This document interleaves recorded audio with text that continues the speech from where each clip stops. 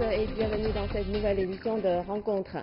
La Chine et l'île Maurice ont signé un accord de libre-échange en octobre. C'est le premier accord de ce type signé entre la Chine et un pays africain. Quelles nouvelles opportunités cet accord apporte-t-il euh, et comment Maurice se positionne-t-il dans la coopération sino-africaine? Cet accord de libre-échange présente-t-il un nouveau modèle de coopération entre la Chine et les autres pays africains? Aujourd'hui, nous allons en discuter avec nos invités. La République de Maurice est un pays insulaire africain situé au sud-ouest de l'océan Indien. Porté par un développement économique fort, Maurice occupe actuellement la 45e place mondiale en termes de compétitivité économique et la première place parmi les pays africains selon le rapport 2017-2018 du Forum économique mondial. La Chine et Maurice ont noué des liens diplomatiques en 1972. Depuis, les relations économiques et commerciales entre les deux pays se développent de manière constante. La Chine est le deuxième partenaire commercial de Maurice et sa première source d'importation. En 2018, le volume global du commerce entre les deux pays représentait 842 millions de dollars, en augmentation de 7,29% par rapport à l'année précédente. Le 17 octobre, la Chine et Maurice ont signé officiellement à Beijing un accord de libre-échange, le premier entre la Chine et un pays africain. L'accord porte sur le commerce de marchandises, les services, l'investissement et la coopération économique. Maurice va ouvrir son marché à 130 secteurs dans les domaines de la communication, de l'éducation, de la finance, de la culture ou encore des transports. Cet accord de libre-échange est le plus important jamais signé par Maurice dans le domaine des services. En juillet 2019 était donné le coup d'envoi de la zone de libre-échange continentale pour l'Afrique une étape importante dans le développement économique de l'Afrique. Une fois opérationnelle, la zone de libre-échange continentale pour l'Afrique a pour ambition de constituer un marché de 1,2 milliard d'individus, représentant 2500 milliards de dollars de PIB cumulés.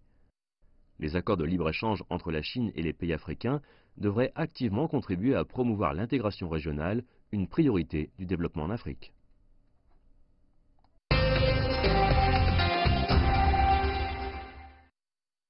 J'ai le grand plaisir d'accueillir sur notre plateau euh, David Kun Kam King. Vous êtes secrétaire de Chinese Business Chamber de Maurice et directeur régional des opérations à SALT Technologies. Oui, c'est correct? C'est correct, merci. Très ravi d'être sur le plateau. Et M. Xu Tiebing, vous êtes professeur à l'Université de communication de Chine. Bienvenue sur notre plateau. Merci pour l'invitation. Et David, quel est l'objectif de votre voyage en Chine? Est-ce que c'est la première euh, fois que vous venez en Chine? Euh, Non, ce n'est pas la première fois. Et nous sommes euh, une délégation de la Chinese Business Chamber de l'île Maurice. Et nous sommes venus en Chine parce que nous avons une étroite collaboration avec le Chinese People Association mm. for Friendship with Foreign Countries. Et ensemble, on a collaboré pour créer un programme euh, leadership pour euh, venir à Beijing et faire une approche pragmatique sur euh, le thème de leadership. Mm-hmm. Mm. Et M. Xu, il y a juste quelques jours que la Chine et l'île Maurice ont signé un accord ou bien un traité de, libre-échange. Mm. Pourriez-vous nous raconter quels points sont les plus importants dans ce traité-là? Je pense, depuis que la Chine lance l'initiative route, euh, la route et la ceinture, différemment, on a commencé à signer euh, l'accord de libre-échange. Mm-hmm. En Europe, c'est la Suisse, l'Islande, etc. Mais l'île de Maurice, le pays le plus riche du continent africain, c'est le premier pays qui a signé l'accord. Mm-hmm. Bien sûr, on a, on a gardé un peu la modestie. On sait que, par exemple, sur la dimension, l'envergure du pays, c'est assez limité. D'ailleurs, c'est une ligne offshore, euh, un peu loin du continent. Mais ça constitue, je dirais, euh, un exemple pionnier, exemplaire. Notamment, c'est que depuis l'année dernière, avec la signature de l'accord entre les dirigeants africains pour les grandes zones de libre-échange, prévues, disons, réalisation dans 30 ans, 35 ans, vous voyez, c'est qu'il y aurait bien sûr un engagement massif mhm. dans l'infrastructure par la Chine, mais il y aura aussi toute une série de facilitations pour faciliter l'intégration continentale. Dans ce cas-là, moi je pense qu'avec sa position géographique très favorable le rôle de fenêtre, le rôle de porte, de terminus et de tremplin, l'île Maurice pourrait jouer un rôle très important dans le projet de co-développement entre les deux parties. D'ailleurs, moi je pense que aussi, c'est que l'île de Maurice a réussi dans le domaine non seulement, je dirais, euh, je pense par exemple de certaines industries, comme sucre, comme le tourisme, mais au début, euh, mais maintenant de plus, si on voit, c'est tout, tout, de même un état financier de bonne santé, assez préparé, et que sur les zones, je dirais, de, euh, sur les comptoirs ou des zones de free trade ou d'autres, je pense que euh, le joint venture de la part de la Chine avec euh, l'île de Maurice pourrait encore approfondir pour promouvoir l'économie. Et David, est-ce que euh, quel constat voyez-vous sur ce traité de libre-échange entre la Chine et, l'île Maurice Alors, rappelons que, que Maurice est rank numéro 1 sur Ease of Doing Business hein, en, Afrique ce traité de libre-échange. Maurice est le premier pays africain à signer ça avec la Chine parce qu'on sait que la Chine est grand et déjà très grand, va devenir encore plus grand.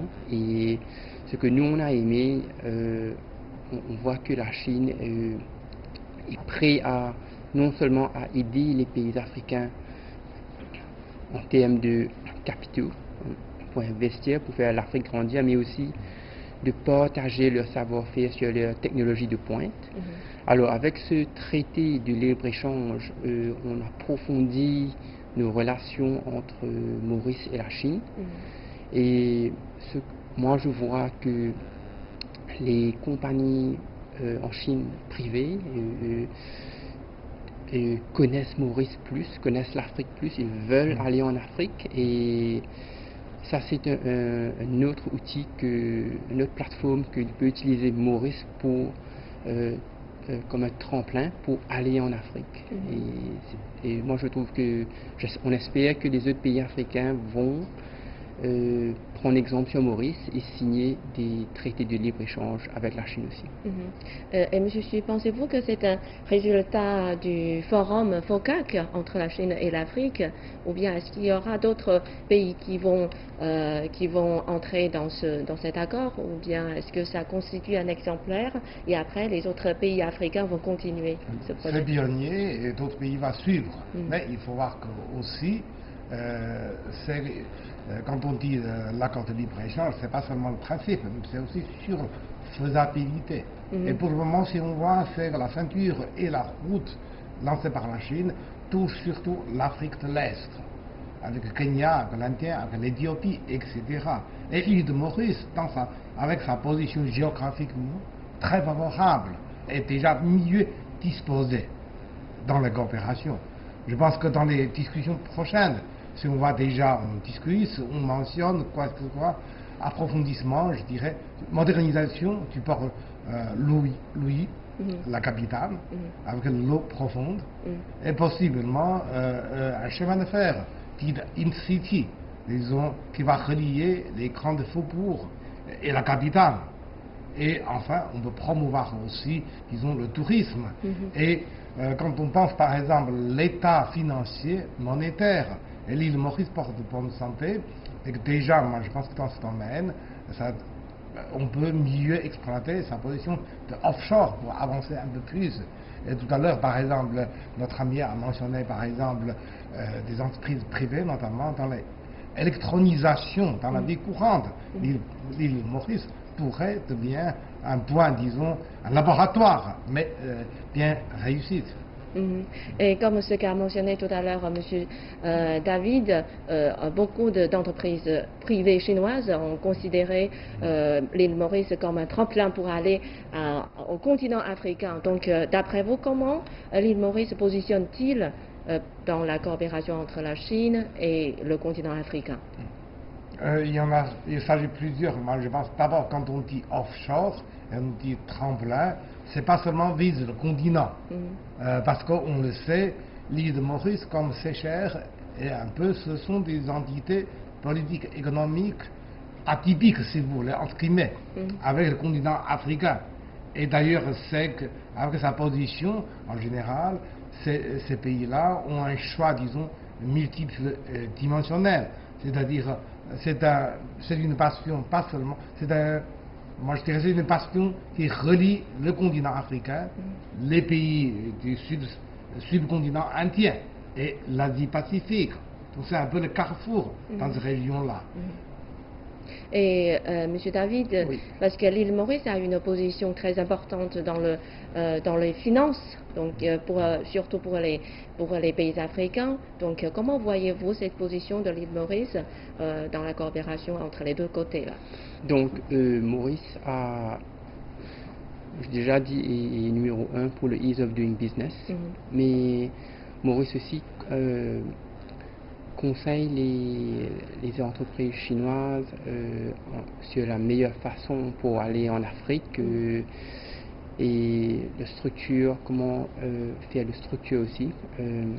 mais aussi, je pense que Maurice fait aussi, c'est on a maintenant un projet sur le Smart City, donc le premier en Afrique. Et J'étais très surpris, très très content hier de quand j'étais dans la conférence, les, euh, les, participants connaissaient déjà Maurice. Mhm. Euh, euh, et, le projet Smart City est, groundbreaking. Hein. Mhm. Et Maurice, on est en train d'utiliser les technologies de pointe de la Chine, que la Chine a développées. Il y a un partage du savoir-faire et je pense que le Smart City sera un exemple pour, Maurice, mais aussi pour d'autres Smart Cities en Afrique. Mm. Et, c'est là où on voit qu'il y a une synergie entre Maurice, l'Afrique et entre les, les traités euh, et aussi les technologies euh, de pointe. Mm. Et euh, Smart City, c'est un point très important et très intéressant. Pourriez-vous nous raconter un peu plus sur ce point-là? Et comment la Chine positionne-t-elle dans, le, dans le projet de Smart City à l'île Maurice On a un Smart City qui s'appelle le Jinfei. Mm. Et, hier, dans la conférence, il y avait un participant qui travaille étroitement avec, avec l'île Maurice si vous venez à l'île Maurice, vous pouvez voir euh, comment le Smart City est connected. C'est magnifique, c'est mhm. magnifique. Parce que je sais que cette fois-ci, vous avez visité euh, la compagnie d'Alibaba. Euh, c'est une, c'est une, c'est une entreprise chinoise très connue, dans, même dans le monde entier, de haute technologie. Quelles sont vos impressions sur Alibaba? Ben, on est, la délégation est allée voir Alibaba. Euh, on était très impressionnés. Euh, on est très excités aussi à, voir Alibaba. Donc, euh, on a vu que les technologies de pointe que Alibaba utilise, par exemple, tous les paiements font sur le téléphone, mais aussi ils sont en train d'essayer de d'avoir des livraisons. je sais, en Chine, c'est en 24 heures de temps, et ils sont en train de euh, essayer de faire un global euh, livraison aussi. Euh, donc c'est très intéressant. On a vu aussi comment les smart homes va être dans le futur.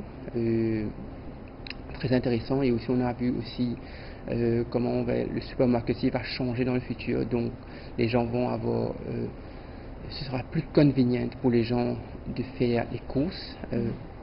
Moi-même, j'aime la technologie euh, beaucoup et je pense que c'est une technologie qui, euh, de pointe que Alibaba va partager avec l'Afrique. Mm. Et, Monsieur Sur ce point, moi je vais ajouter euh, sur la dernière question. Je pense qu'on parle souvent de ces coopérations sino-africaines. Mm. Dans le cas de l'île de Maurice, c'est la même logique, mais il faut penser aussi l'île de Maurice, avec sa population mixité, mm-hmm. en général, c'est une culture, je dirais, je dirais accueillir de tout le monde. Donc l'île de Maurice devient aussi une phase de multi-coopération, non seulement entre la Chine et l'Afrique, mais aussi les tiers. Puisque si on voit par exemple la disposition économique, c'est que l'île Maurice a une coopération étroite et de longue date avec l'État indien, avec, disons, les Français, les Anglais, mais aussi d'autres pays, euh, Madagascar l'Australie aussi. Là, on peut faire, dit, je dirais, multi-coopération, plusieurs, euh, disons, coopérations avec les tiers. Mm. Et tout à l'heure, on a, on a parlé euh, de la coopération dans le domaine de haute technologie. Donc, M. Xu, pensez-vous que euh, la coopération de 5G ou bien d'autres haute technologie vont constituer une nouvelle direction dans la coopération entre la Chine et les pays africains? Ça, ça représente une opportunité, mais personnellement, je pense qu'il faut penser un peu la dimension du pays. L'île de Maurice a 1 million, 1 million 200 000 habitants environ. Donc c'est faisable assez rapidement, mais peut-être le rayonnement serait encore limité.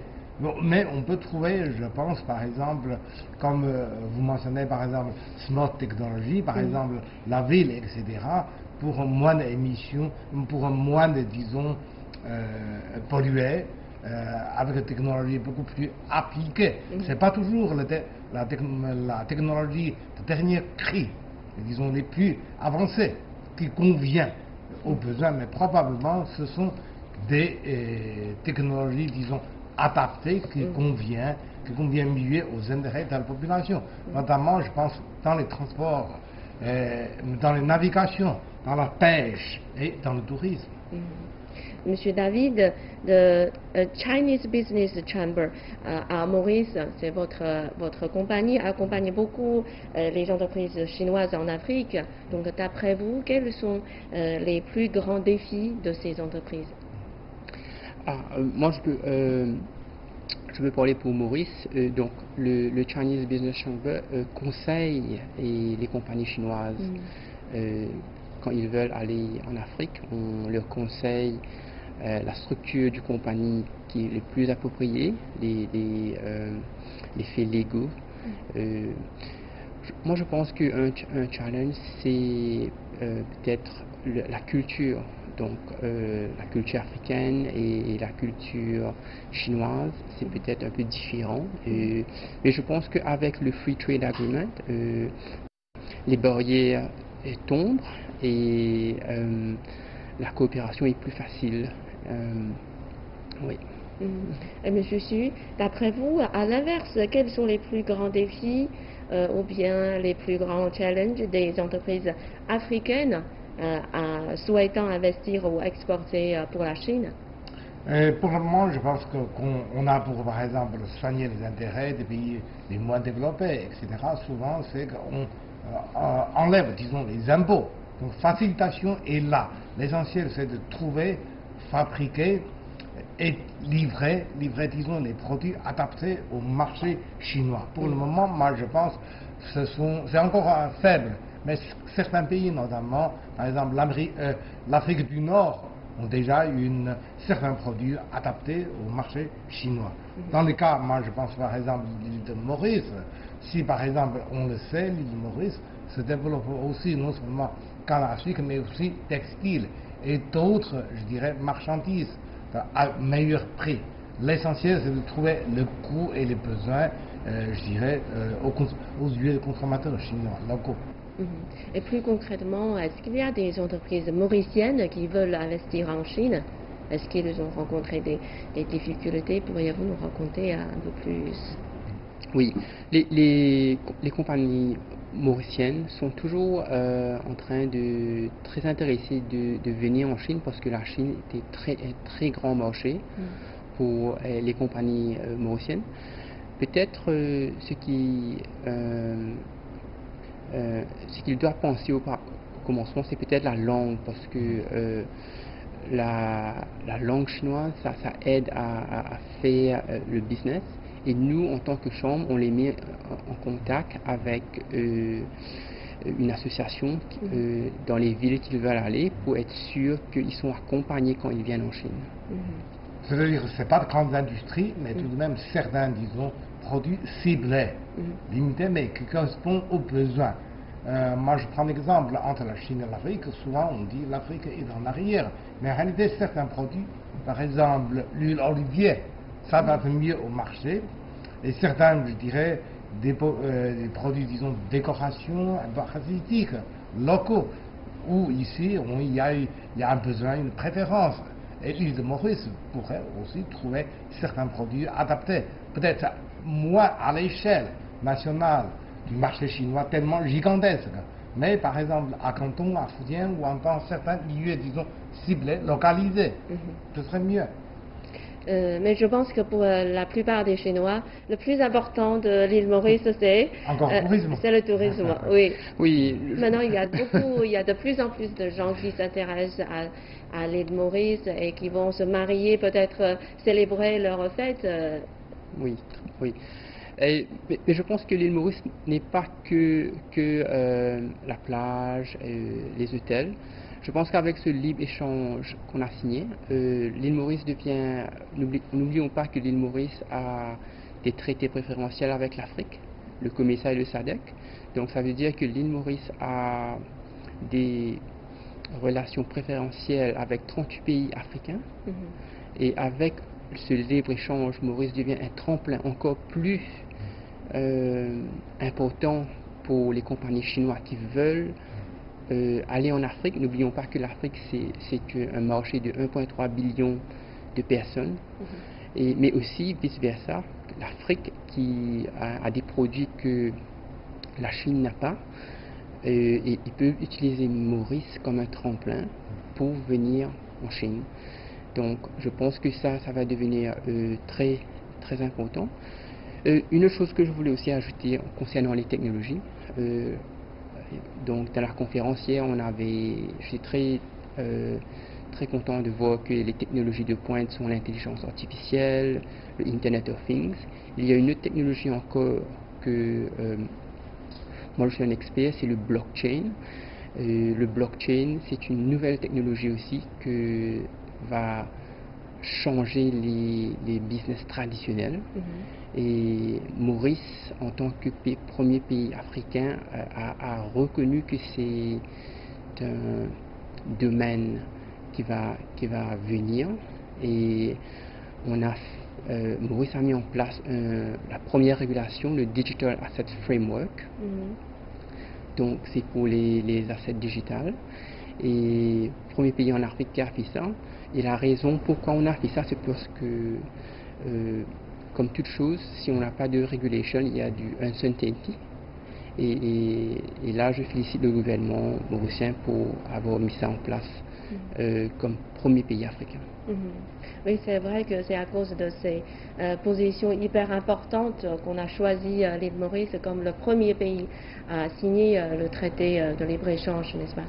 Oui, on doit que si par exemple comparé aux autres pays africains, sur certains critères, par exemple euh, l'index euh, euh, du développement, quand on pense par exemple à la stabilité politique, l'ordre social, euh, je dirais de cohabitation interethnique ou confessionnelle, alors l'île Maurice se trouve dans une position très avancée, supérieure que les moyennes. Là, ce- sont aussi des indices, des conditions, disons, euh, non négligeables. Mhm. Monsieur Su, euh, quel est votre euh, point de vue sur l'évolution de l'environnement de, d'investissement des pays africains? Je pense après quelques décennies de retard, mais aussi un peu de conflit et de gouvernance, disons, à faible niveau, finalement, c'est que, je dirais, au début de ce siècle, troisième gé- dirigeant, troisième génération de dirigeants africains, Mhm. finalement, ont pris la conscience de s'unir, de faire quelque chose en commun. Comme vous dites, c'est le choix des zones de libre-échange continentales.